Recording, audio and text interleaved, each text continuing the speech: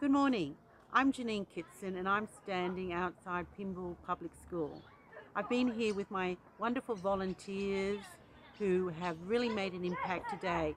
So many parents are really concerned about their children's future, about climate change, about ending corruption in this nation with a proper Federal Integrity Commission and really loving and protecting our ABC.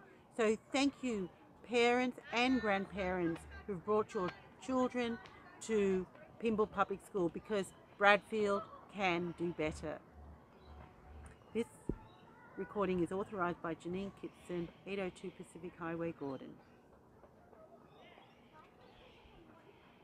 Authorised by Janine Kitson, Suite 1A, Level 2, 802 Pacific Highway, New South Wales, Gordon 2072.